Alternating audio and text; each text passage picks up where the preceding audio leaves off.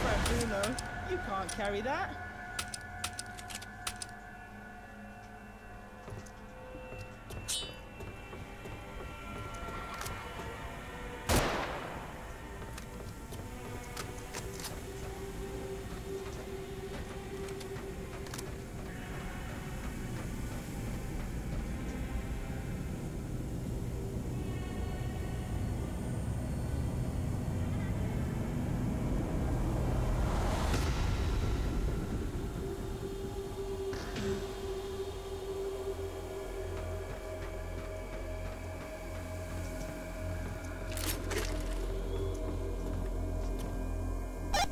Guns, boys.